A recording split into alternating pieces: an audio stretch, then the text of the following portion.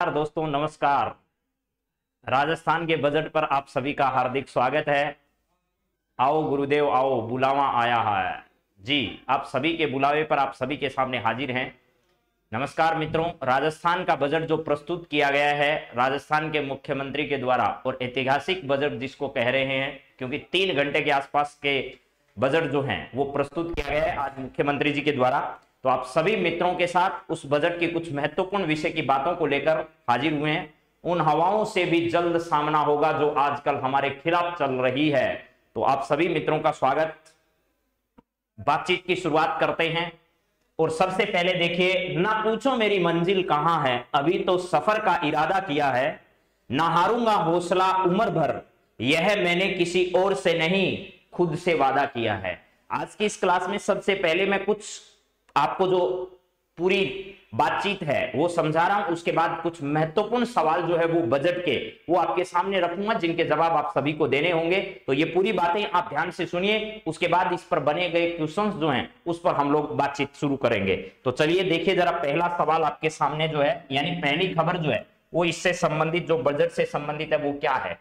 चिरंजीवी जो योजना है, चिरंजीवी योजना में प्रति परिवार सालाना पाँच लाख बीमा राशि को बढ़ाकर दस लाख कर दिया गया है। यानी चिरंजीवी योजना के तहत जो बीमा क्लेम दिया जाता था, जो बीमा दिया जाता था, अब उस बीमा राशि को पाँच लाख रुपए के स्थान पर बढ़ाकर कितना कर दिया है? दस लाख रुपए कर दिए गए हैं। महत्वपूर्ण सवाल है मेरे मित्रों, ये दस लाख रुपए की राशि आपको याद करनी है। आगामी परीक्षाओं में सीधा सवाल आपसे पूछा जाएगा कि चिरंजीवी योजना में प्रति परिवार सालाना पाँच लाख रुपए के स्थान पर बढ़ाकर कितना कर दिया गया तो आपको जवाब देना है कि उसको दस लाख रुपए कर दिया गया और इसी चिरंजीवी योजना के नाम से एक अन्य योजना, चिरंजीवी मुख्यमंत्री, चिरंजीवी दुर्घटना योजना भी शुरू कर दी गई है। और उस दुर्घटना योजना के तहत, उस दुर्घटना योजना के तहत कितना बीमा क्लेम दिया जाएगा? तो पाँच लाख रुपए क्लेम उस बीमा योजना के तहत दिया जाएगा। दोबारा सुन लीजिएगा एक बार, फिर मैं जो बात आपको बता रहा हूँ कि दुर्घटना बीमा योजना जो है, इस दुर्घटना बीमा योजना के तहत पाँच लाख रुपए जो है ये दिए जाएँगे बीमा क्लेम के रोग पर। और साधारण जो चिरंजीवी योजना थी, उसमें पाँच लाख रुपए के स्थान पर कितने कर दिए हैं? दस लाख कर दिए गए हैं। ये दोनों बातें आपको ध्यान रखनी है। एक तरफ़ दुर्घटना बीमा योजना है और एक तरफ़ साधारण चिरंजीवी योजना है। चलिए, इसके बाद देखिए अगला क्या है।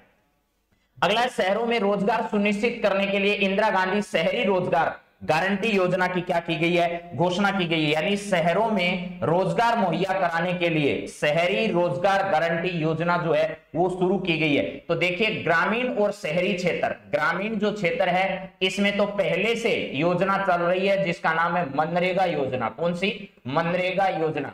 इस मनरेगा योजना को ही आगे क्या कर दिया जाएगा? और विस्तारित किया जाएगा। प्लस इसके साथ साथ शहरी क्षेत्रों में, शहरी क्षेत्रों में अलग से क्या चलाया जाएगा? इंदिरा गांधी शहरी रोज़गार योजना चलाई जाएगी। इंदिरा गांधी इंदिरा गांधी शहरी रोज़गार योजना, शहरी रोज़गार जो योजना है, उस रोज़गार योजना को क्या किया जाएगा? चलाया जाएगा। तो दो बातें हैं, यहाँ पर कौन कौन सी है? पहली बात है ग्रामीण मनरेगा योजना, जो कि मनरेगा योजना को ही आगे विस्तारित किया जाएगा। ग्रामीण क्षेत्रों में, शहरी क्षेत्रों में इंदिरा गांधी शहरी रोज़गार योजना जो है, वो क्या की जाएगी? चलाई जाएगी। इसके बाद नेक्स्ट बात जो है, वो क्या है? जरा देखिए।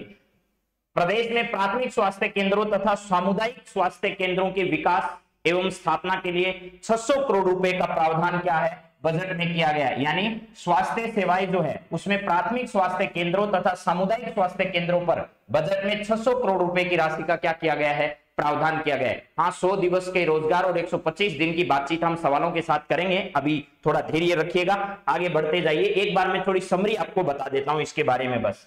राजकीय अस्पतालों में ओपीडी और आईपीडी, जो पूर्णतः क्या रहेगी, निशुल्क करने की घोषणा सरकार के द्वारा की गई है। यानी ओपीडी जो व्यवस्था है और आईपीडी जो व्यवस्था है, दोनों को मुख्यमंत्री जी ने क्या कर दिया है? पूर्णतः निशुल्क कर दिया गया है।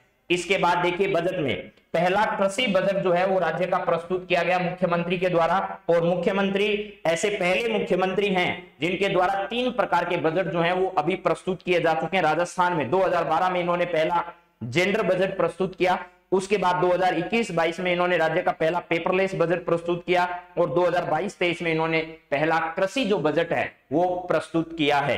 तो पहले कृषि बजट से कृषि विकास के नए आयाम होंगे स्थापित। ये बात किसने कही है बजट में? अशोक गहलोत जी ने कही है। इसके बाद विद्युत से जुड़ी हुई क्या बातें हैं बजट के अंदर, वो देखिए जरा। यहाँ पर विद्युत में बिजली जो कनेक्शन हमारे हैं, उन पर किस प्रकार की छूट जो है वो प्रदान की गई है? 50 यूनिट जो है वो बिजली निशुल्क दी जाएगी।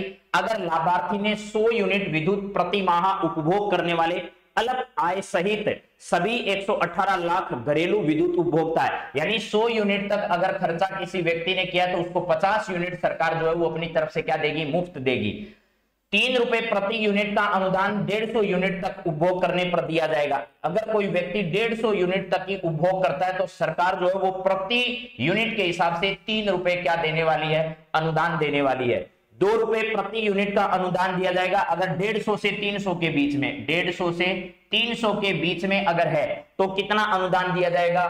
दो रुपए का अनुदान जो है वो सरकार के द्वारा दिया जाएगा। और 300 से अधिक विद्युत होने पर स्लेट के अनुसार अनुदान की क्या की जाएगी? घोषणा की जाएगी। तो ये बाकी सब सेम रहेगा, लेकिन आपको ध्यान रखना है बस कितना? 50 यूनिट का अनुदान, फिर तीन रुपए का अनुदान और फिर दो रुपए का अनुदान। किस किस बिजली यूनिट पर कितना कितना अनुदान बिजली में दिया जाएगा? इसके बाद चलिए आगे बात करते हैं। महिलाओं में कैंसर के निदान के लिए मोबाइल कैंसर डायग्नोस्टिक वैन जो है, वो पचास रुपए, पचास करोड़ रुपए की राशि से उसका प्रावधान किया गया है। यानी कैंसर जो है महिलाओं में, भारत में सबसे ज़्यादा जो है वो स्तन कैंसर होता है और पुरुषों में जो है वो किस प्रकार का कैंसर होता है?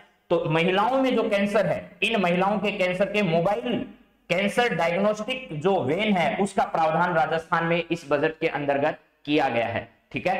हाँ जी तो चलिए इसके बाद आगे देखिएगा और क्या है। शिक्षा में आएगी गुणवत्ता, ये बहुत ही अच्छी बात है। कि शहरी क्षेत्र और ग्रामीण क्षेत्रों में महात्मा गांधी अंग्रेज़ी मीडियम स्कूल खोलने की घोषणा सरकार के द्वारा की गई है। यानी सरकार ने कहा है कि गाँव में और शहरी क्षेत्रों में हम क्या करेंगे? शहरों में भी कितने एक हज़ार और गाँव में भी क्या एक हज़ार हम क्या खोलेंगे? महात्मा गांधी इंग्लिश मीडियम जो अंग्रेज़ी माध्यम स्कूल है, वो अब खोले जाने प्रस्तावित किए गए हैं इनके द्वारा इस बजट में। चलिए, इसके बाद अगला। प्रदेश में 3,820 विद्यालयों को सीनियर सेकेंडरी में क्रमोन्वित किया जाएगा। यह संख्या आपको याद करने की ज़रूरत नहीं है। मानसिंह अस्पताल में रोबोटिक सर्जरी की सुविधा उपलब्ध कराई जाएगी। ये सवाल अच्छा है इसको थोड़ा देखेगा रोबोटिक सर्जरी की व्यवस्था राजस्थान के किस हॉस्पिटल में उपलब्ध करवाई जाएगी? तो इसका सही जवाब आपका होगा रोबोटिक सर्जरी जो है इसकी व्यवस्था राजस्थान के किस एसएमएस एसएमएस हॉस्पिटल जो है वहाँ पर इस प्रकार की व्यवस्थाओं को उपलब्ध करवाया जाएगा। चलिए, इसके बाद यहाँ पर है, शिक्षक भर्ती में दस हज़ार अंग्रेज़ी जो है, अंग्रेज़ी माध्यम मीडियम जो स्कूल है, उनके विषय के टीचर्स जो है, यहाँ पर क्या किए जाएँगे, लगाए जाएँगे। तो ये भी दस हज़ार अंग्रेज़ी शिक्षक कैडर के अंग्रेज़ी माध्यम के स्कूलों को यहाँ पर क्या किया जाएगा, भर्ती किया जाएगा। इसके बाद रोज़गार के अवसर, राज्य के विभिन्न पदों में 50 लाख रुपए, सावित्री बाई वाचनालय। ये अच्छा सवाल है, परीक्षा की दृष्टि से। जरा देखिएगा क्या है। प्रत्येक ज़िले में, यहाँ पर प्रत्येक जिला ज़रूर ध्यान रखिएगा। सवाल क्या पूछेगा? किस स्तर पर 50-50 लाख रुपए की राशि से सावित्री बाई फूले वाचनालय की स्थापना किए जाने की बजट में घोषणा की गई है? तो वो देगा आपको जिला स्तर पर, क्या देगा? जिला स्तर पर, वो देगा संभाग स्तर पर, संभाग स्तर पर। इसके अलावा ऑप्शन में आपको मिलेगा राज्य स्तर पर या ब्लॉक स्तर पर। राज्य स्तर या क्या मिलेगा? ब्लॉक स्तर पर मिलेगा। तो आपको ध्यान रखना है, इनमें से किस स्तर पर किया जाएगा? जिला स्तर पर जो है, वो सावित्री बाई फुले वाचनालयों की स्थापना की जाएगी। ठीक है? हाँ जी, ज़रूर भेज देंगे वंशु प्रसाद जी, आप चिंता मत करिए। चलिए, अगला देखिएगा। ग्राम पंचायत मुख्यालयों पर स्थित प्राथमिक विद्यालयों को उच्च प्राथमिक विद्यालयों एवं उच्च प्राथमिक विद्यालयों को माध्यमिक विद्यालयों में क्या किया जाएगा? कर्मोत्तर किया जाना प्रस्तावित है। जयपुर और जोधपुर में एक अतिरिक्त सीएमएचओ स्वास्थ्य विभाग की ओर से लगाए जाएँगे। इंग्लिश मीडियम शिक्षकों के लिए अलग से कैडर का निर्माण किया जाएगा। शुद्ध के लिए युद्ध अभियान के तहत डायरेक्ट ऑफ़ फ़ूड सेफ्टी में 200 खाद्य सुरक्षा अधिकारी लगाए जाएँगे। जेएलएन मार्ग जो स्थित है जयपुर का जयपुर का जेएलएन मार्ग जो स्थित है, वहाँ पर जितने भी इंस्टीट्यूट हैं, उनको एजुकेशन हब ईडीयू हब के रूप में स्थापित किया जाएगा। यानी एडीयू हब के रूप में उनको क्या किया जाएगा? बढ़ावा दिया जाएगा। ऐसा कहा गया है। जेलन मार्ग पर जितने भी शिक्षा के जो इंस्टीट्यूट स्थापित है, उनको ऐसा किया जाएगा।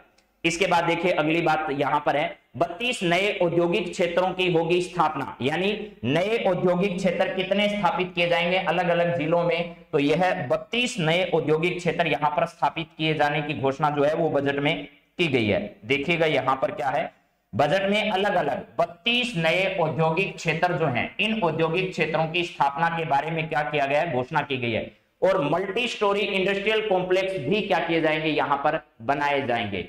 चलिए नेक्स्ट जरा देखिएगा और क्या है। राजमार्ग 1200 करोड़ रुपए की लागत से प्रदेश के 1000 किलोमीटर के राज्य मार्गों का यहाँ पर क्या क्या किया जाएगा डबल वे उनको बनाया जाएगा। ठीक है? राज्य के राजमार्ग जो है, उनको क्या किया जाएगा? डबल किया जाएगा। ये भी हमें देखना है। चलिए, जो काम की बात है मैं सिर्फ़ वहीं रुक रहा हूँ और आपको वही चीज़ें क्या करनी है, याद करनी है। ये बहुत अच्छी खबर है। क्या है? पैरा खिलाड़ियों को उच्च तकनीकी प्रशिक्षण देने के लिए जयपुर और जोधपुर में पैरा खेल एकेडमी की स्थापना की जाएगी। तो आपको पूछा जाएगा पेपर में कि पैरा खिलाड़ियों को उच्च तकनीकी प्रशिक्षण प्रदान करने के लिए राज्य में कहाँ पर पैरा खेल एकेडमी की स्थापना की जाएगी। तो आपको ध्यान रखना है, ये की जाएगी जयपुर में और जोधपुर में। जयपुर और कहाँ पर? जोधपुर में दो जगह। पैरा जोधपुर जो है, यहाँ पर दो जगह पैरा खिलाड़ियों के लिए एकेडमी की स्थापना की जाएगी। ये दोनों शहर आपके लिए बहुत इंपॉर्टेंट है। तो यहाँ पर पहला क्या है? जयपुर है। दूसरा क्या है? जोधपुर है। ये दोनों शहर ऐसे हैं जहाँ पैरा खिलाड़ियों के लिए उच्च तकनीकी प्रशिक्षण प्रदान करने के लिए पैरा खेल एकेडमी की क्या की जाएगी? स्थापना की जानी प्रस्तावित की गई है बजट के अंदर। इसके बाद है, जोधपुर में पंद्रह करोड़ रुपए की लागत से राजस्थान स्टेट स्पोर्ट यूनिवर्सिटी की क्या की जाएगी? स्थापना की जाएगी।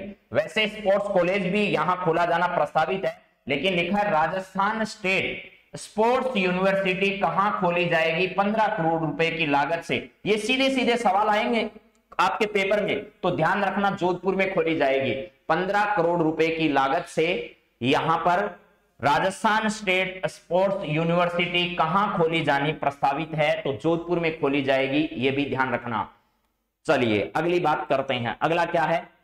इस साल जुलाई माह में रीट की परीक्षा, ये परीक्षा का सवाल भी नहीं है। जयपुर मेट्रो वाला इंपोर्टेंट सवाल है, ये देख लीजिएगा फिर। क्या है? जयपुर मेट्रो का फ़ेज़ टू और वन फ़ेज़ के अलग अलग जो काम है, वो किए जाएँगे। जरा ध्यान से सुनो। जयपुर मेट्रो का विस्तार किया जाएगा और इस विस्तार में फ़र्स्ट फ़ेज़ जो है, यानी फ़ेज़ फ़र्स्ट जो है, इस फ़ेज़ फ़र्स्ट के अलग अलग दो काम किए जाएँगे। एक आपका होगा फ़र्स्ट सी और फ़र्स्ट डी इस फ़र्स्ट में क्या होगा? फ़र्स्ट सी और एक क्या होगा? फ़र्स्ट डी होगी। ये दोनों कहाँ से कहाँ तक होंगे, पहले तो ये सुनिएगा। फ़र्स्ट सी जो है, वो बड़ी चौपड़ से दिल्ली, आगरा एनएचआई ट्रांसपोर्ट नगर जो है ट्रांसपोर्ट नगर तक होगा। बड़ी चौपड़ से ट्रांसपोर्ट नगर तक। ये कहाँ तक होगा? बड़ी चौपड़ से लेकर के, बड़ी चौपड़ से लेकर के ट्रांसपोर्ट नगर जो है, अलवर दिल्ली वाला जो आगरा बाईपास है, वहाँ पर है। ट्रांसपोर्ट ट्रांसपोर्ट नगर जो है, वहाँ तक इसका विस्तार किया जाएगा। प्लस इसके बाद वन डी यानी फ़ेज़ फ़र्स्ट का ही अगला चरण जो है, वो कहाँ से है? मानसरोवर से लेकर के ये फ़र्स्ट डी है। मानसरोवर से लेकर के 200 फीट बाईपास तक इसका निर्माण किया जाएगा। कहाँ तक? मानसरोवर से लेकर के, मान सरोवर से, मान सरोवर से लेकर के कहाँ पर? 200 फीट तक इसका निर्माण किया जाएगा। ये जगह का नाम है। इसके बाद फ़ेज़ टू जो है मेट्रो फ़ेज़ टू वो भी ध्यान रखना। सीतापुरा से अंबाबाड़ी तक। सीतापुरा से लेकर के अंबाबाड़ी का जो रास्ता है, अंबाबाड़ी, वहाँ तक का भी काम क्या किया जाएगा? डीपीआर उसको खोला जाएगा। तो ये फ़ेज़ टू होगा। फ़ेज़ फ़र्स्ट में ही दोबारा सुन लो। फ़र्स्ट सी और फ़र्स्ट डी दोनों फ़ेज़ कहाँ से कहाँ तक है, इसको ज़रूर ध्यान रखिएगा। चलिए, अगली बात करते हैं। अगला है समृद्ध किसान कुशाल। कृषि बजट में पचास हज़ार किसानों को बीस हज़ार जो है वो सिंचाई पाइपलाइन के लिए सौ करोड़ रुपए के अनुदान देने की बात जो है वो सरकार के द्वारा कही गई है। क्या है?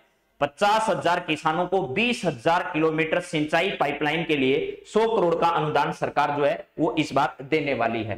ठीक है जी। हाँ जी। अगला देखिए जरा क्या है आपके सामने। समृद्ध किसान है। इसमें चार लाख किसानों को 1705 करोड़ रुपए का अनुदान भी किसानों को दिया जाएगा सूक्ष्म सिंचाई योजना के तहत।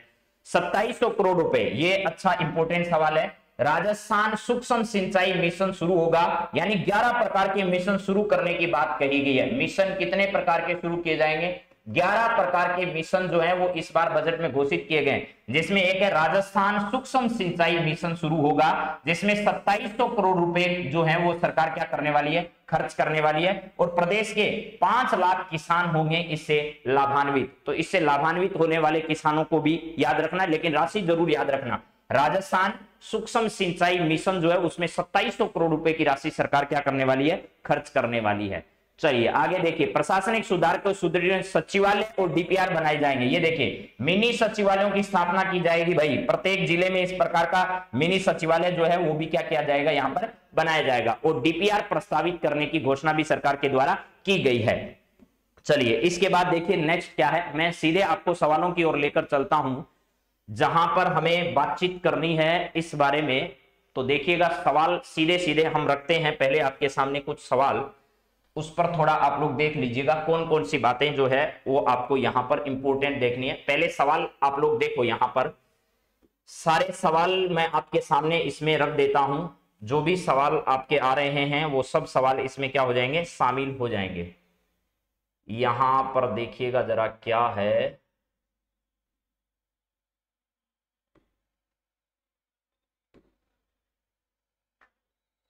पहला सवाल बजट का मैं आपके सामने रख रहा हूँ। अब जरा इन सवालों के भी आप लोग क्या करिए, थोड़ा जवाब देने की कोशिश करिएगा। पहले ये सवाल रहा आपका, उसके बाद कुछ अन्य बातें जो है, उस पर भी हम लोग चर्चा करेंगे और पूरी विस्तार से बातचीत करेंगे, लेकिन पहले कुछ सवाल हो जाए ताकि कुछ लोगों को ये लगे कि हमारा पढ़ा हुआ है, वो भी हमसे पूछा जा रहा है, हमें जानकारी है उस बातों की। ये देखिएगा। राजस्थान बजट के संदर्भ में आपको बताना है, इनमें से सत्य कथम क्या होगा? 2012-13 राज्य का पहला जेंडर बजट जो है वो क्या किया गया? प्रस्तुत किया गया। राज्य का पहला जेंडर बजट जो है, ये तीनों बजट किसके द्वारा प्रस्तुत किए गए? अशोक गहलोत जी के द्वारा प्रस्तुत किए गए। अशोक गहलोत जो है, इनके द्वारा क्या किए गए? ये तीनों बजट जो प्रकार हैं, वो प्रस्तुत इन्हीं के द्वारा किए गए हैं। तो अब जरा देखिएगा 2012-13 में इन्होंने राज्य का पहला जेंडर बजट जो है, वो क्या किया? प्रस्तुत किया। 2021-22 में इन्होंने पहला पेपरलेस जो है वो बजट प्रस्तुत किया। इसके बाद 2022-23 में इन्होंने पहला कृषि जो बजट है, वो पहला कृषि बजट जो है वो प्रस्तुत किया।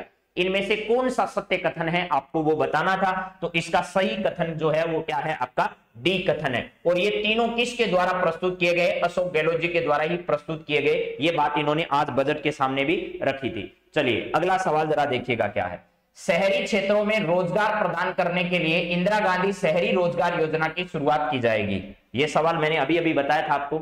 शहरी क्षेत्रों में रोज़गार प्रदान करने के लिए इंदिरा गांधी शहरी रोज़गार योजना जो है, इसको क्या किया जाएगा? शुरू किया जाएगा। जिसके तहत 100 दिन के रोज़गार को उपलब्ध करवाया जाएगा। इसके तहत प्रति वर्ष कितने करोड़ की राशि जो है, वो सरकार के द्वारा खर्च की जाएगी।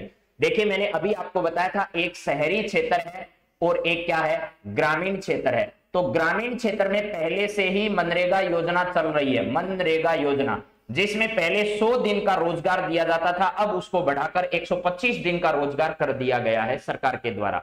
अब आपको यह पूछा गया है कि शहरी क्षेत्र के लिए 100 दिवस के रोज़गार के लिए कौन सी योजना शुरू की गई है? तो इंदिरा गांधी शहरी रोज़गार योजना की शुरुआत जो है वो सरकार के द्वारा अभी हाल ही में की गई है। आपसे सवाल यह पूछा गया कि इस पर सरकार प्रतिवर्ष कितनी राशि जो है वो खर्च करेगी? तो ध्यान रखना, इस पर सरकार 800 करोड़ रुपए की राशि जो है वो प्रति वर्ष क्या करने वाली है? खर्च करने वाली है। प्रति वर्ष 800 करोड़ रुपए की राशि सरकार के द्वारा इसमें क्या की जाएगी? खर्च की जाएगी। ठीक है? हाँ जी, एलडीसी के बारे में क्या बताना एलडीसी का पेपर होगा भैया, अब और क्या है? चलिए, आपको ध्यान रखना है 800 करोड़ रुपए की राशि इसका क्या होगा? सही जवाब होगा 500 करोड़ रुपए नहीं होगा, गलत जवाब है 500 करोड़ रुपए। चलिए, अगली बात करते हैं, अगला सवाल इसी से रिलेटेड है। ग्रामीण क्षेत्रों में महात्मा गांधी नरेगा योजना में 100 दिवस के स्थान पर कितने दिवस का रोज़गार उपलब्ध करवाया जाएगा? ग्रामीण क्षेत्रों में इस बजट के अनुसार महात्मा गांधी मनरेगा योजना के तहत 100 दिवस के रोज़गार के स्थान पर कितने दिवस का रोज़गार उपलब्ध करवाया जाएगा? तो मैंने अभी अभी बताया 125 दिवस का रोज़गार जो है वो अब प्रदान किया जाएगा। 100 के स्थान पर कितना? 125 देश का रोज़गार जो है वो अब इसमें क्या किया जाना प्रस्तावित किया गया है? देना प्रस्तावित किया गया 125 दिन का रोज़गार इसमें अब सरकार के द्वारा दिया जाएगा। अगला सवाल देखिएगा क्या है? यहाँ पर है, बजट से संबंधित चिरंजीवी योजना के अंतर्गत प्रति परिवार सालाना पाँच लाख रुपए की चिकित्सा बीमा राशि को बढ़ाकर कितना कर दिया गया जो आगामी वर्ष से लागू होगी? जो क्या होगी? आगामी वर्ष से लागू होगी। पाँच लाख रुपए के स्थान पर इसको बढ़ाकर सरकार ने दस लाख रुपए कर दिया है। दस लाख रुपए। लेकिन मैंने ये बताया था अभी आपको कि दुर्घटना चिरंजीवी योजना जो है, उसमें दुर्घटना बीमा को शामिल करने के लिए चिरंजीवी दुर्घटना बीमा योजना शुरू की गई है। चिरंजीवी दुर्घटना दुर्घटना बीमा योजना जो है, बीमा योजना। इसको शामिल किया गया है किसमें? चिरंजीवी योजना में। तो अब इसका नाम कर दिया है चिरंजीवी दुर्घटना बीमा योजना जो है, इसके तहत अब पाँच लाख रुपए तक का दुर्घटना बीमा दिया जाएगा। पाँच लाख रुपए तक का दुर्घटना बीमा इसमें दिया जाएगा। ठीक है? हाँ जी तो इसका सही जवाब क्या है? कि इस योजना के तहत अब 10 लाख रुपए की जो राशि है, वो 10 लाख रुपए की राशि क्या की जाएगी? प्रदान की जाएगी। चलिए, अगले सवाल पर देखते हैं। अगला सवाल क्या है? जरा देखो भैया। ये रहा, यहाँ है, राज्य में केंद्रीय कॉलेज कहाँ स्थापित किया जाएगा? अभी ये घोषणा की गई है कि राज्य एक जगह जहाँ पर केंद्रीय कॉलेज की स्थापना की जाएगी। वो जगह कौन सी है? जहाँ पर केंद्रीय कॉलेज खोले जाने की, सेंट्रल कॉलेज खोले जाने की, सेंट्रल यूनिवर्सिटी तो हमारे यहाँ कहाँ पर है? तो किशनगढ़ अजमेर के अंदर गए। लेकिन अभी ये पूछा जा रहा है कि केंद्रीय कॉलेज कहाँ खोला जाएगा? तो केंद्रीय कॉलेज एक जगह ही है, जोधपुर में खोला जाएगा। ज़्यादातर चीज़ें जोधपुर, जयपुर जोधपुर, जयपुर ऐसे दी है इन्होंने। तो जोधपुर के अंतर्गत क्या किया जाएगा? केंद्रीय कॉलेज जो है, वो हाल ही में खोला जाएगा। चूरू जो है, इस चूरू की तारानगर तहसील को एक काम दिया गया है। तारानगर को क्या काम दिया गया है, आप अंदाज़ा लगाइएगा। यहाँ पर आयुर्वेद महाविद्यालय खोला जाएगा। यहाँ पर क्या खोला जाएगा? आयुर्वेद महाविद्यालय खोला जाएगा। तारानगर में बजट में क्या प्रस्तावित किया गया है? तो यहाँ आयुर्वेद महाविद्यालय खोला जाएगा। इसके अलावा तारानगर में ही खेल स्टेडियम खोला जाएगा। एक क्या बनाया जाएगा? खेल स्टेडियम जो है, वो भी क्या किया जाएगा? यहाँ पर बनाया जाएगा। तो ये बातें घोषित की गई है। गंगानगर और हनुमानगढ़ क्षेत्र जो है, जहाँ पर अभी भी क्या नहीं की गई है? नर्सिंग कॉलेज की स्थापना के बारे में कहा था, जो नर्सिंग कॉलेज अभी नहीं बनी है, वहाँ नर्सिंग कॉलेज खोला जाएगा। चलिए, अगली बात करते हैं। अगला सवाल जरा देखिएगा क्या है। पालनहार योजना से मिलने वाली राशि को पंद्रह सौ रुपए से बढ़ाकर कितनी कर दी गई है? इस बजट में देखो। पालनहार योजना, आप क्वेश्चन के हिसाब से याद करोगे तो ही परीक्षा की बात सही कर पाओगे। वो सार पढ़ते रहना, उसमें कुछ पता नहीं चलेगा कि आपने क्या पढ़ा क्या छोड़ दिया। तो परीक्षा की दृष्टि से जो इंपोर्टेंट सवाल है, उनको ज़रूर देख लीजिएगा। पालनहार योजना में मिलने वाली राशि 1500 से बढ़ाकर अब कितनी कर दी गई है, ये आपको बताना पहले 1500 रुपए पालनहार योजना के तहत पेंशन के तौर पर दिए जाते थे। किसके तौर पर? पेंशन के तौर पर दिए जाते थे। अब इस राशि को बढ़ाकर 1500 रुपए से कितना कर दिया गया है? तो 1500 से 2500 रुपए कर दिया गया 1500 से 2500 रुपए बढ़ा दिया गया पहले ये राशि कितनी थी? 1500 थी। अब ये राशि कितनी होगी? 2500 रुपए इस राशि को कर दिया गया है। ये देख लीजिएगा आप लोग। चलिए, अगली बात करते हैं। अगला सवाल भी आपके सामने क्या है, जरा देखो। कितनी राशि से ईडब्ल्यूएस e विकास कोष का गठन किया जाएगा? ईडब्ल्यूएस e जो है जिसको 10 प्रतिशत अलग से आरक्षण दिया गया उसके विकास के लिए अलग से एक विकास कोष का गठन किया जाएगा।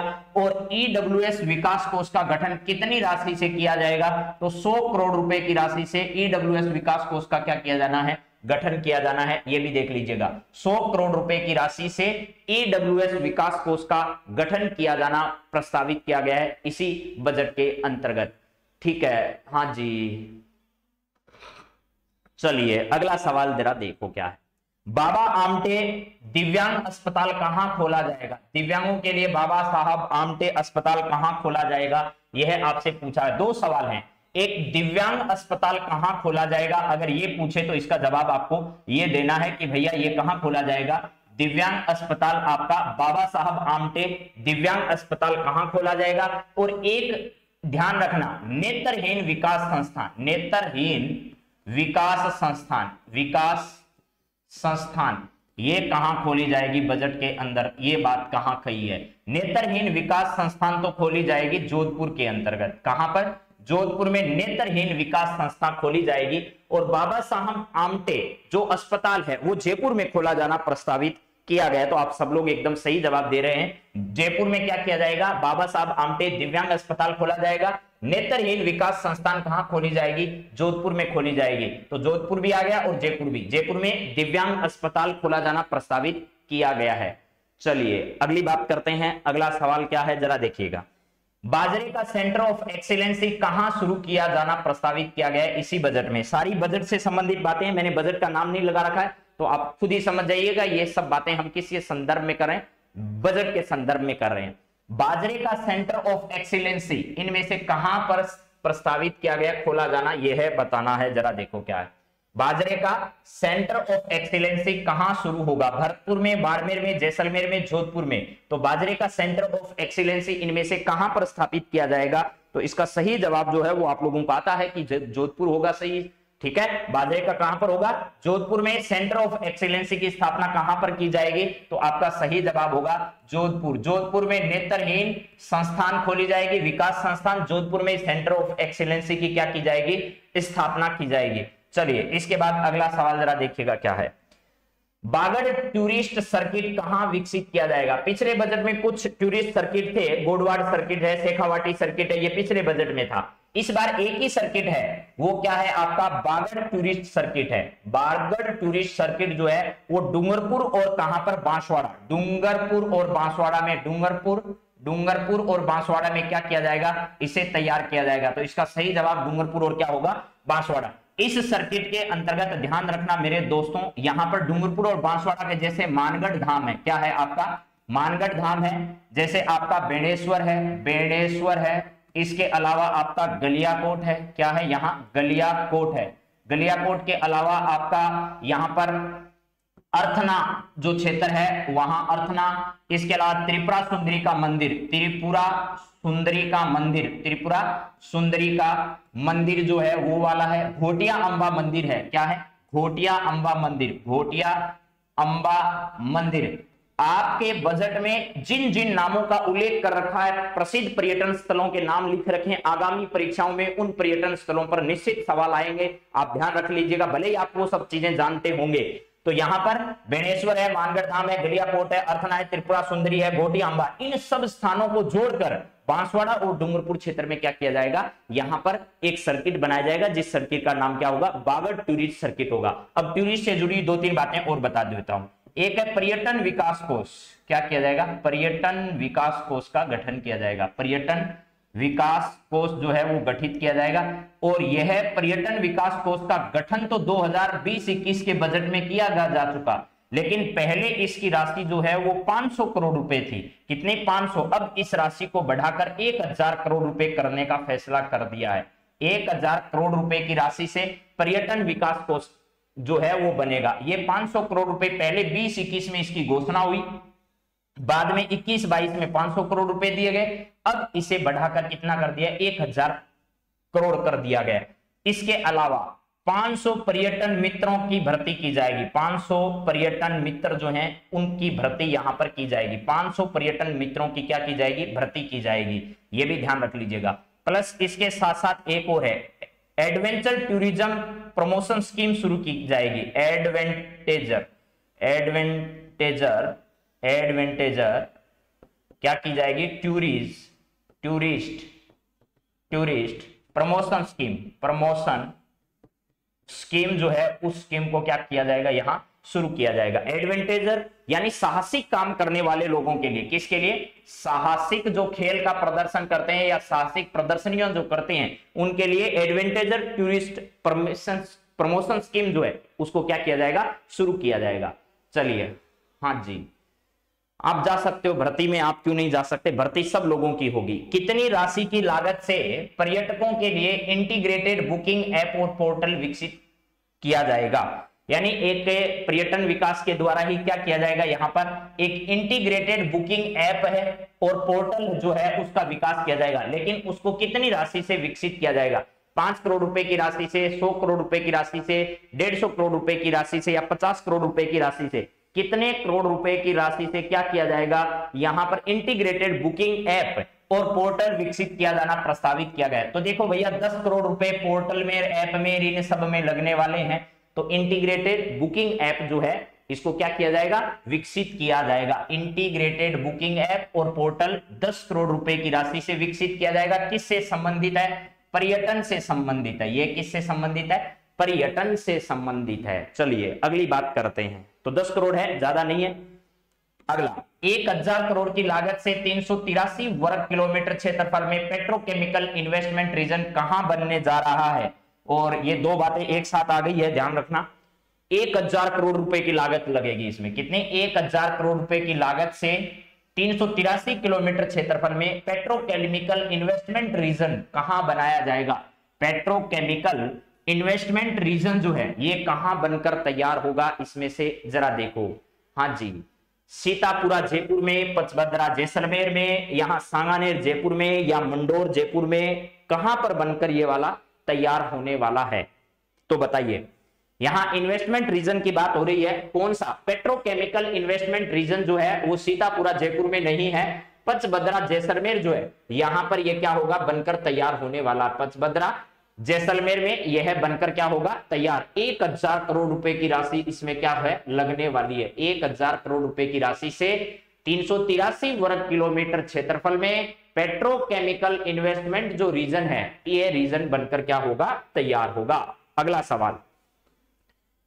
स्टेट रोड सेफ्टी इंस्टीट्यूट कहाँ खोला जाएगा? स्टेट रोड सेफ्टी इंस्टीट्यूट इनमें से कहाँ खोला जाना है? जरा बताइए। तो इन सवालों के माध्यम से आपको पता चलेगा कि कौन सी चीज़ें आपको याद है और कौन सी चीज़ें याद नहीं है। तो ज़्यादा से ज़्यादा एक बार पूरी कहानी समझ लीजिएगा, बजट की उसके बाद सवाल ज़्यादा से ज़्यादा पढ़ने की कोशिश करो, तब ये सारी चीज़ें आपको याद रहेगी।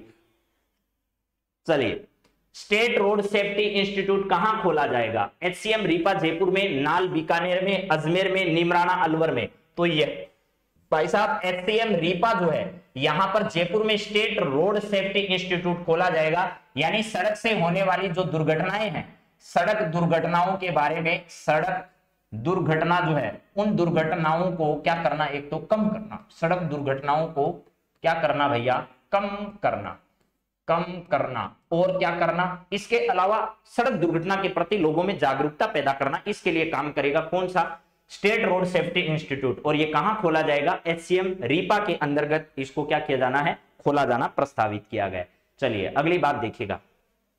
अगला सवाल है, माइक्रो इरिगेशन के लिए सेंटर ऑफ़ एक्सीलेंसी किस स्तर पर स्थापित किए जाएँगे? सेंटर ऑफ़ एक्सीलेंसी की स्थापना यहाँ पर की जानी है। तो ये सेंटर ऑफ़ एक्सीलेंसी कहाँ पर होगा? माइक्रो इरिगेशन के लिए, यानी सूक्ष्म सिंचाई जो योजनाएँ हैं हमारी उस सूक्ष्म सिंचाई योजनाओं के लिए सेंटर ऑफ़ एक्सीलेंसी किस स्तर पर जो है वो स्थापित किए जाएँगे? राज्य स्तर पर, जिला स्तर पर, संभाग स्तर पर, यानी ब्लॉक स्तर पर?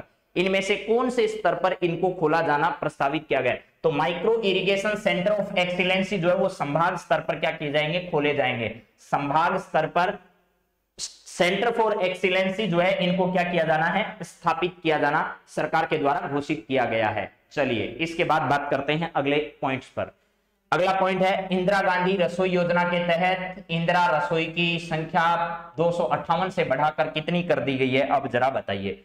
यानी इंदिरा रसोई योजना के तहत जो रसोईया हैं, उनकी संख्या पहले कितनी थी? तीन सौ अट्ठावन है। ये दो सौ अट्ठावन नहीं है, क्या है?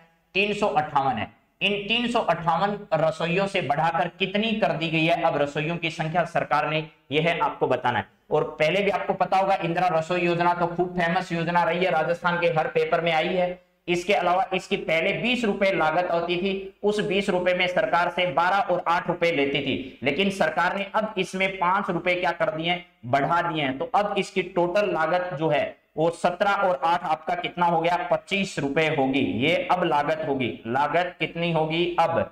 ये लागत अब आएगी कितनी? पच्चीस रुपए की लागत होगी, जिसमें सरकार ने अनुदान पाँच रुपए का बढ़ा दिया है और यह क्या था? पहले था। तो अब रसोइयों की संख्या बढ़ाकर तीन सौ अट्ठावन से सरकार ने कितनी कर दी है? यह आपसे मैंने पूछा है। सरकार ने एक हज़ार रसोई करने का फैसला कर लिया है। सरकार ने क्या किया है? तीन रसोइयों के स्थान पर अब इस प्रकार की एक हज़ार रसोई जो है, वो सरकार बनाने वाली है। चलिए, सरकार सीधा कोई काम नहीं करेगी, मेरे मित्रों, ये ध्यान रख लेना। 500 नहीं है रे भैया। तीन सौ अट्ठावन से लेकर कितनी कर दी है? एक हज़ार कर दी गई है।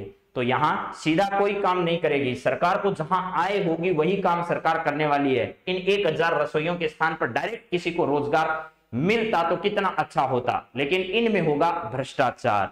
चलिए, अगली बात करते हैं। अपने काम की बात क्या है?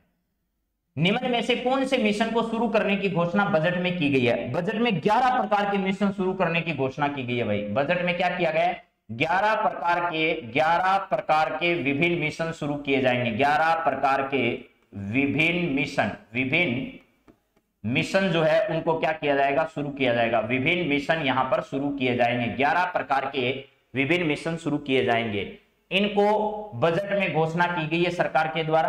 राजस्थान ऑर्गेनिक फ़ार्मिंग मिशन, मुख्यमंत्री जैविक खेती मिशन, ऑर्गेनिक फ़ार्मिंग मिशन, जैविक खेती मिशन, राजस्थान फ़सल सुरक्षा मिशन, ये तीन महत्वपूर्ण मिशन हैं, इनको सरकार शुरू करना चाह रही है और ऐसे 11 प्रकार के मिशन सरकार ने शुरू करने की घोषणा की है।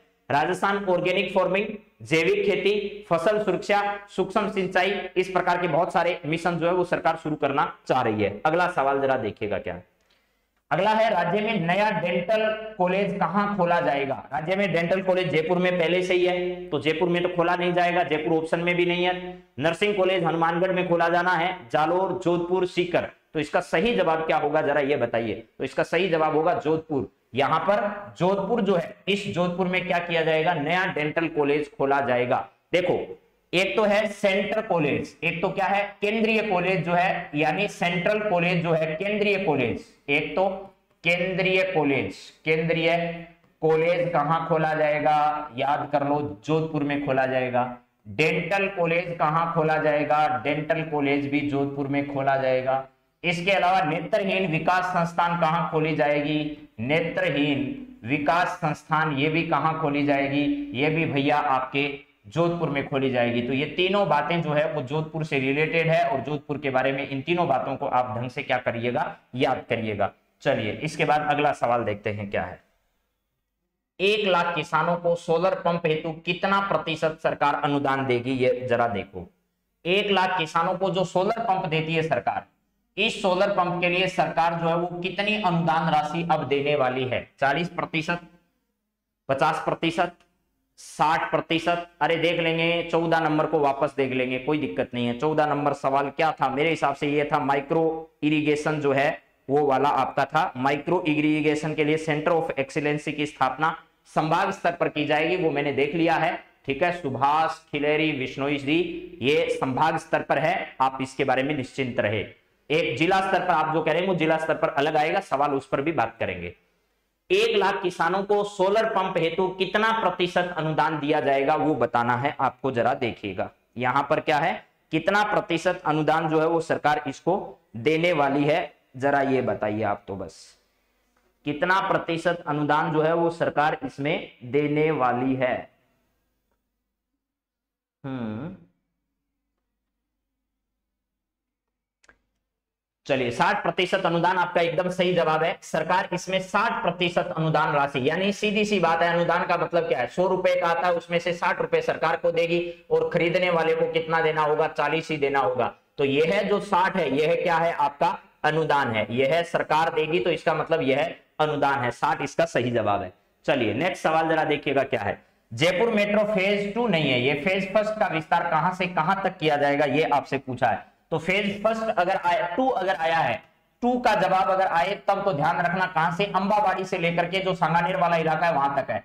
फ़ेज़ फ़र्स्ट है, और फ़ेज़ फ़र्स्ट में भी दो है। फ़ेज़ फ़र्स्ट में भी दो, सी और क्या है? फ़र्स्ट डी है, ये दो हैं। इनको ध्यान रखना है। फ़ेज़ फ़र्स्ट, सी और फ़र्स्ट डी। इनमें से कौन सा सही है, वो देख लेते हैं अपन तो। चांदपोल से बड़ी चौपड़ सही नहीं है। चांदपोल से सीतापुरा भी सही नहीं है। बड़ी चौपड़ से दिल्ली आगरा हाईवे, ये वाला एकदम सही है। सांगानेर से और मानसरोवर के बीच में भी कोई ऑप्शन सही नहीं है। यानी ऑप्शन के हिसाब से भी देखे तो भी आपको पता चल जाएगा कि फ़र्स्ट सी और फ़र्स्ट डी है और हालाँकि इसके आगे की बात भी की गई है। जो फ़ेज़ टू है फ़ेज़ टू है, उस फ़ेज़ टू की भी बारे में बात की गई है, लेकिन वो कहाँ से कहाँ तक होगा तो ये मैंने बता दिया आपको। अंबाबाड़ी जो है, अंबा बाड़ी। ये अंबाबाड़ी टू कहाँ होगा? सीतापुरा होगा। अंबाबाड़ी टू सीतापुरा के लिए इसे शुरू किया जाएगा। टू फ़ेज़ जो है उसको। तो अभी यही आपको ध्यान रखना है। चलिए, इसके बाद बात करते हैं अगले सवाल पर। अगला सवाल क्या है? राजस्थान सूक्ष्म सिंचाई मिशन के लिए कितनी राशि खर्च की जाएगी? राजस्थान में सूक्ष्म सिंचाई एक मिशन चलाया जाएगा। उसके तहत कितनी राशि जो है वो सरकार इसमें खर्च करने वाली है? तो अभी अभी आपको इसी क्लास में मैंने बताया था, राजस्थान सूक्ष्म सिंचाई मिशन के लिए सरकार जो है वो सत्ताईस सौ करोड़ रुपए की राशि क्या करने वाली है? खर्च करने वाली है। राजस्थान सरकार सत्ताईस सौ रुपए की राशि इस पर क्या करने वाली है? खर्च करने वाली है। चलिए, इसके बाद में कुछ और बातें जो इसके संदर्भ में है, वो मैं आपको और मुख्य मुख्य बातें जो है पॉइंट्स जो है, वो और बताता हूँ बजट के संदर्भ में।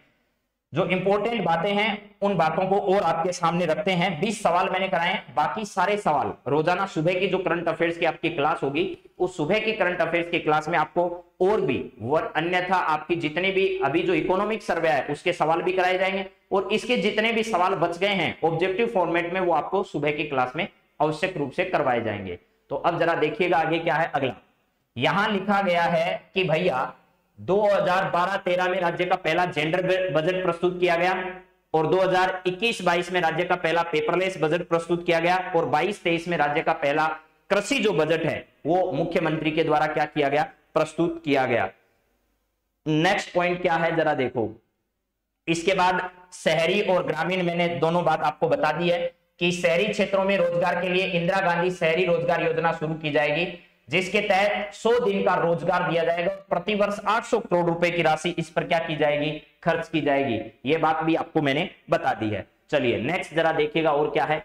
और है आपके सामने, ग्रामीण क्षेत्रों में महात्मा गांधी नरेगा योजना 100 दिवस की जगह 125 दिन का रोज़गार उपलब्ध करवाया जाएगा। स्कूली विद्यार्थियों के लिए तीन महीने का ब्रिज कोर्स चलाया जाएगा। स्कूली जो विद्यार्थी है, उनके लिए ब्रिज कोर्स की व्यवस्था भी यहाँ पर की जाएगी। इसके अलावा देखो, कुछ बातें मैं और लिखकर आपको बता रहा हूँ, वो भी जरा ध्यान से सुन लीजिएगा। एक क्या किया जाएगा?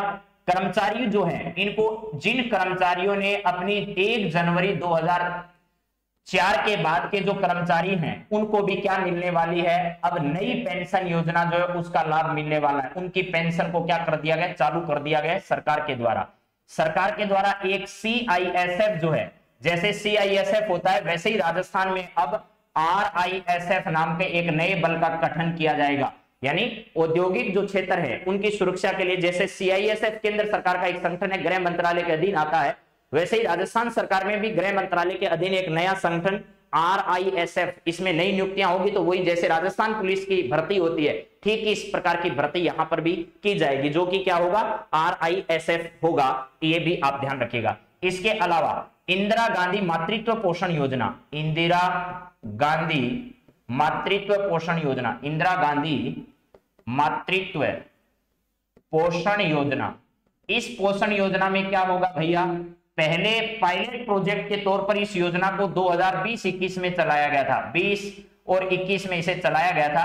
उस समय यह उदयपुर, राजस्थान के उदयपुर, प्रतापगढ़ प्रतापगढ़, डूंगरपुर, बांसवाड़ा डूंगरपुर, बांसवाड़ा जो क्षेत्र है, यहाँ पर इसको क्या किया गया था? चलाया गया था और एक इसमें बारह शामिल था, जिसके अंतर्गत छह हज़ार रुपए की राशि प्रदान की जाती है। दूसरी संतान के पैदा होने पर। अब यह योजना पूरे राजस्थान में क्या की जाएगी? लागू की जाएगी। तो इसे क्या किया जाएगा? पूरे राजस्थान में, पूरे राजस्थान में इस योजना को लागू किया जाएगा। पूरे राजस्थान में इस योजना को क्या किया जाएगा? इस योजना को लागू किया जाएगा। ये आपको ध्यान रखना है। प्लस इसके अलावा भी कोई और बात है क्या? एक ध्यान रखना, छबड़ा जो थर्मल पावर प्लांट है, कहाँ पर है? छबड़ा बारह में। छबड़ा तापीय विद्युत ग्रह जो है, तापीय विद्युत ग्रह।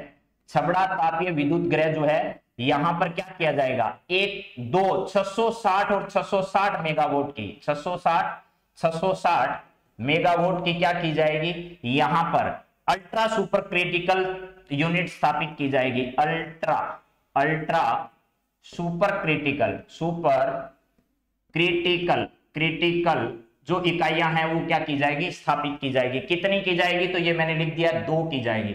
छबड़ा तापीय विद्युत ग्रह जो है, ठीक है? तो ये बातें जो है वो ध्यान रखना। छबड़ा तापीय विद्युत ग्रह 660 660 मेगावाट की दो इकाइयाँ जो है वो यहाँ स्थापित की जाएगी। काली सिंध जो आपका है, क्या है?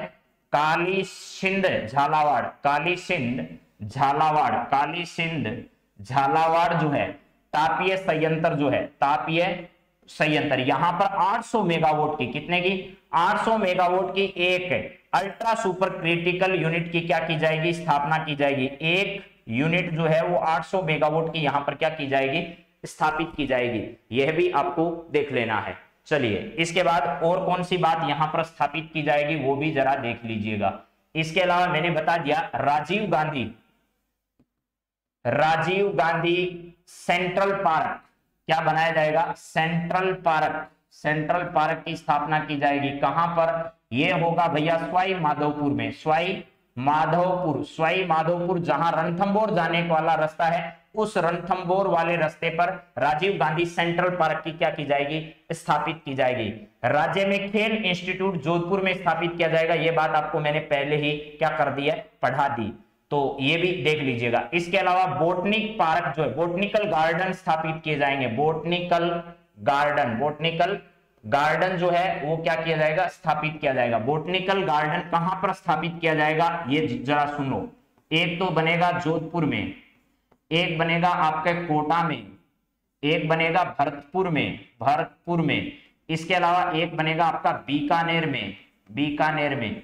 एक बनेगा उदयपुर में उदयपुर में, एक बनेगा अजमेर में अजमेर में। और ये किसकी तर्ज पर बनाए जाएँगे? यह विश्व वानिकी उद्यान जो स्थित है झालाना डुंगरी में, उसकी तर्ज पर। विश्व वानिकी उद्यान वानिकी उद्यान की तर्ज पर बनाया जाएगा, जो कि कहाँ पर स्थित है? यह स्थित है झालाना डुंगरी में। झालाना डुंगरी जो है, इस झालाना डुंगरी के अंतर्गत क्या किया जाएगा? स्थापित किया जाएगा। यहाँ पर देखेगा इसके अलावा ई वेस्ट जो कचरा है, यानी ई वेस्ट जो है, E waste E waste disposal policy बनाई जाएगी। डिस्पोजल डिस्पोजल पॉलिसी, यानी नीति बनाई जाएगी। यानी ई वेस्ट जो है, उस ई वेस्ट के डिस्पोज करने के लिए अलग से क्या की जाएगी? नीति बनाई जाएगी। मोबाइल विधायकों को मिलेंगे, वो भी एप्पल के मिलेंगे। एप्पल के मोबाइल फोन्स विधायकों को देने वाले हैं कौन? गहलोत साहब। ई वेस्ट डिस्पोजल पॉलिसी जो है डिस्पोजल पॉलिसी ये बनाई जाएगी और इसी के तहत जयपुर में ई वेस्ट जो रिसाइकलिंग पार्क बनाया जाएगा, इसी के तहत क्या किया जाएगा? जयपुर में जयपुर में sorry E waste E waste recycling recycling recycling recycling park जो है वो क्या किया जाएगा? स्थापित किया जाएगा। जयपुर में E waste recycling recycling park जो है वो क्या किया जाएगा? स्थापित किया जाएगा। ई वेस्ट डिस्पोजल पॉलिसी सरकार लेकर आने वाली है। उसके तहत ई वेस्ट रिसाइकलिंग पार्क कहाँ स्थापित किया जाएगा? जयपुर में इसको स्थापित किया जाएगा।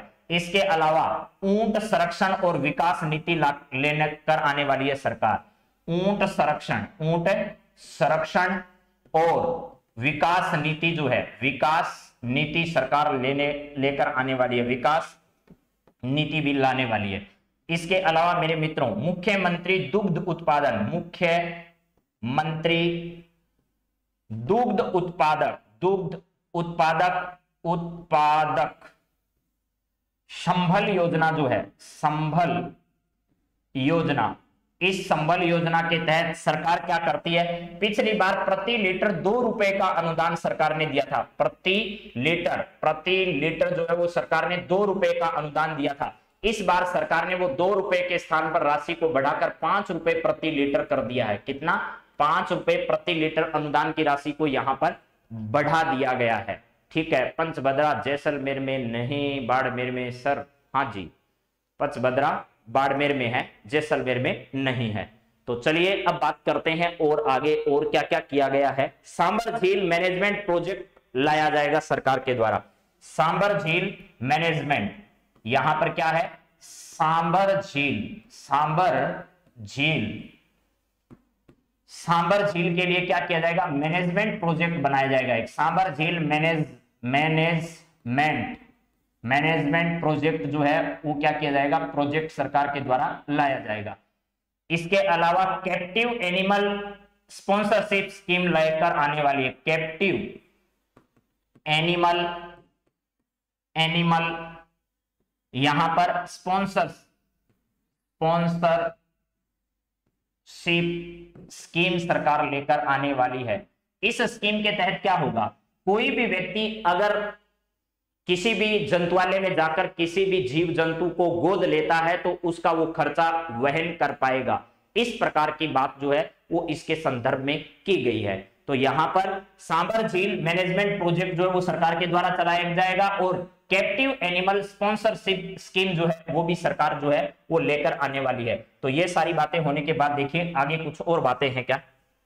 यहाँ है, अगले वर्ष से चिरंजीवी योजना के अंतर्गत प्रति परिवार सालाना पाँच लाख रुपए चिकित्सा बीमा राशि को बढ़ाकर दस लाख सरकार के द्वारा कर दिया गया जुलाई 2022 में रीट का आयोजन किया जाएगा यह भी बात बजट में आई है। जोधपुर में केंद्रीय कॉलेज जो है वो खोली जाएगी, चार जिलों में इंस्टीट्यूट ऑफ़ न्यूरो साइंस जो है वो खोला जाएगा। और इसके अलावा मेरे मित्रों सीआईएसएफ की तर्ज पर राजस्थान औद्योगिक सुरक्षा बल की स्थापना की जाएगी। राजस्थान में क्या किया जाएगा? जो सीआईएसएफ है, उसकी तर्ज पर औद्योगिक सुरक्षा बल की स्थापना की जाएगी राजस्थान में भी। यानी मैंने बताया था आर आई एस एफ़ की स्थापना सरकार के द्वारा की जाएगी। राजस्थान औद्योगिक सुरक्षा बल दो हज़ार कर्मियों की भर्ती होगी। जिस प्रकार राजस्थान पुलिस के कर्मियों की भर्ती होती है, वैसे ही आर आई एस एफ़ में दो हज़ार कर्मियों की भर्ती होगी। होगी कब? ये भगवान जाने, लेकिन होगी। चलिए, अगला है 18 जिलों में नर्सिंग महाविद्यालय और हज़ार नए उप स्वास्थ्य केंद्र खोले जाने की घोषणा की गई है सरकार के द्वारा। 100 करोड़ की लागत से ईडब्ल्यूएस विकास कोष का गठन किया जाएगा। कितने करोड़ रुपए की राशि से? 100 करोड़ की लागत से ईडब्ल्यूएस विकास कोष का गठन किया जाएगा। ठीक है? चलिए नेक्स्ट अगला है आपके सामने पालनहार योजना के बारे में मैंने बता दिया। पेंशन राशि जो है वो पंद्रह सौ रुपए से बढ़ाकर कितनी कर दी गई है? पच्चीस सौ कर दी गई है। पंद्रह सौ के स्थान पर कितनी कर दी गई है? पच्चीस सौ रुपए की राशि। बाबा साहब आमटे अस्पताल कहाँ खोला जाएगा? तो जयपुर में बाबा साहब आमटे अस्पताल जो है वो खोला जाएगा। इसके अलावा पूरे प्रदेश में लागू हो रही इंदिरा मातृत्व योजना, प्रसूता को योजना में छह हज़ार रुपए दिए जाते हैं। ये मैंने बता दिया। कि इंदिरा मातृत्व प्रसूता योजना जो पहले चार जिलों में थी, अब पूरे राजस्थान में लागू होगी, जिसमें छह हज़ार रुपए सरकार के द्वारा दिए जाएँगे। पंद्रह करोड़ रुपए की लागत से राजीव गांधी सेंट्रल पार्क बनाया जाएगा। ये कहाँ पर बनेगा तो मैंने बताया, स्वाई माधोपुर में बनेगा। स्वाई माधोपुर जो है, स्वाई माधोपुर में यहाँ ये बनकर क्या होगा? तैयार होगा। चलिए नेक्स्ट जरा देखिएगा। उदयपुर और कोटा में नए विकास प्राधिकरण जो है, इनकी स्थापना की जाएगी। उदयपुर में और कहाँ पर? कोटा में नए विकास प्राधिकरण। यानी जिस प्रकार जेडीए है, ठीक है? जिस प्रकार क्या है? जेडीए इसी प्रकार के दो नए प्राधिकरण कहाँ बनेंगे? एक उदयपुर में बनेगा और एक कोटा में। अगले साल शहरी और ग्रामीण क्षेत्रों में एक एक हज़ार जो है वो नए Mahatma Gandhi English medium school खोले जाएँगे। ये सब बातें मैंने आपको बता दी है। इंदिरा रसोई योजना में तीन सौ अट्ठावन से बढ़ाकर एक हज़ार किया जाएगा। इंदिरा रसोई योजना जो है वो भी मैंने बता दी आपको। भाई, तीन सौ अट्ठावन के स्थान पर बढ़ाकर सरकार उसको एक हज़ार करने वाली है। मुख्यमंत्री वर्क फ्रॉम होम योजना के तहत अब लुगाइयों की मौज हो गई है। बीस हज़ार महिलाओं को क्या करेगी? सरकार घर से काम करने के लिए उनको नौकरी देने वाली है बीस हज़ार महिलाओं को। ठीक है? ऐसा भी आप लोग देख सकते हैं। इसके बाद है, संभाग मुख्यालयों पर माइक्रो अभी जो एक मेरा मित्र कह रहा था, उसको देख लो ये। मैंने बताई थी थोड़ी देर पहले बात कि भैया, संभाग मुख्यालयों पर micro irrigation centre of excellency जो इनकी स्थापना की जाएगी। राजस्थान ऑर्गेनिक फ़ार्मिंग मिशन शुरू किया जाएगा ऑर्गेनिक फ़ार्मिंग मिशन शुरू किया जाएगा। मुख्यमंत्री जैविक खेती मिशन जो है वो राजस्थान में शुरू किया जाएगा। इसके अलावा जोधपुर में बाजरे का सेंटर ऑफ़ एक्सीलेंसी जो है, इसकी स्थापना की जाएगी। राजस्थान फ्लक्स फ़सल सुरक्षा मिशन जो है वो शुरू किया जाएगा। सुरक्षा मिशन जो है उसको क्या किया जाएगा? शुरू किया जाएगा। जोधपुर में बाजरे का सेंटर ऑफ़ एक्सीलेंसी जो है, इसकी स्थापना की जाएगी। चलिए इसके बाद अगला देखिए, जयपुर में एससीएम रीपा जो है, यहाँ पर क्या किया जाएगा? स्टेट रोड सेफ्टी इंस्टीट्यूट खोला जाएगा। रोड सेफ्टी इंस्टीट्यूट राजस्थान में कहा खोला जाएगा? एचसीएम रीपा में खोला जाएगा। वो कहाँ पर है? तो जयपुर में है। पचबद्रा ये बाड़मेर में भाई। कहीं अगर जैसलमेर लिखा हुआ आ गया तो उसको काट दीजिएगा। ये कहाँ पर है? बाड़मेर में है। यहाँ पर तीन सौ तिरासी वर्ग किलोमीटर में पेट्रोकेमिकल पेट्रोकेमिकल इन्वेस्टमेंट रीजन बनेगा, जिसके विकास के लिए विकास के लिए एक हज़ार करोड़ रुपए की राशि जो है वो सरकार क्या करने वाली है? खर्च करने वाली है। चलिए नेक्स्ट जरा देखिएगा। मुख्यमंत्री डिजिटल सेवा योजना शुरू की जाएगी। इसमें 33 लाख चिरंजीवी परिवार महिला मुखिया को तीन साल की इंटरनेट कनेक्टिविटी के साथ स्मार्टफ़ोन दिए जाएँगे। देखो एप्पल के फ़ोन विधायकों को दिए जाएँगे स्मार्टफ़ोन महिलाओं को दिए जाएँगे, और महिला मुखिया को दिए जाएँगे वो भी। किसको? महिला मुखिया को, और वो भी कितने साल तक? तीन साल की इंटरनेट कनेक्टिविटी भी उसमें प्रदान की जाएगी। तीन साल की। महिलाओं को तो ताली बजानी चाहिए कि भाई, आपने घरे मोबाइल आना रो है अब, और वो भी स्मार्टफ़ोन इंटरनेट भी माँ आवगो ही आवगो ठीक है? ये सब उसको देखना है। चलिए नेक्स्ट जरा देखो। बांसवाड़ा में, बांसवाड़ा और डूंगरपुर में बागड़ टूरिस्ट सर्किट जो है, उसका विकास किया जाएगा। बागड़ टूरिस्ट सर्किट डूंगरपुर और बांसवाड़ा में विकसित किया जाना है। दस करोड़ की लागत से पर्यटकों के लिए इंटीग्रेटेड बुकिंग ऐप और पोर्टल जो है, वो क्या किया जाएगा? विकसित किया जाएगा। इंटीग्रेटेड ऐप विकसित किया जाएगा। हर ज़िले में एक साइबर थाना खोला जाएगा। साइबर थाना जो है, वो हर ज़िले में खोला जाएगा। अगला, अब सवाल आ चुके हैं, जो कि सवाल मैंने आपको सारे करा दिए बहुत सारी बातें मैंने पढ़ा भी दी और बहुत सारी बातें अभी भी बच गई है। ठीक है? हाँ जी। तो अब मेरे मित्रों, कुछ और बातें जो भी बच गई है, वो सुबह की करंट अफेयर्स की क्लास में सवालों के साथ हम कवर करेंगे प्लस इसके साथ साथ आपकी जो इकोनॉमिक सर्वे है, उस इकोनॉमिक सर्वे का भी रिव्यू आ चुका है। इकोनॉमिक सर्वे आ चुकी है, उस पर बहुत अच्छी क्लास आप लोगों के सामने हम रखेंगे और लगातार इकोनॉमिक सर्वे के बारे में हम लोग बातचीत करते रहेंगे। तो आप सभी मित्रों का आज की क्लास से जुड़ने के लिए एक बार फिर बहुत बहुत धन्यवाद है। बजट को एक बार फिर सरसरी निगाहों से पढ़ लीजिएगा। ये 20-25 क्वेश्चन आपके सामने जो मैंने रखे हैं, इनको देख लीजिएगा। और अन्य सवाल भी सुबह की क्लास में आपके सामने राजस्थान बजट से रिलेटेड लाते रहेंगे। उन सब पर भी आप निगाहें बने रखिएगा। तो आप सभी का बहुत बहुत धन्यवाद। कल फिर वापस मिलते हैं सुबह की क्लास में। तब तक हैव ए नाइस डे तो अब शुभ रात्रि के साथ आपसे विदा लेते हैं। तब तक आप सभी को बहुत बहुत धन्यवाद। जय हिंद।